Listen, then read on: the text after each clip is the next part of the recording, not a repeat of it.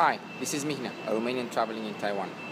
I'm in Kaohsiung City at the World Games train station, which actually started as a metro and now it's a SkyTrain. Let's have a look at the um, train station.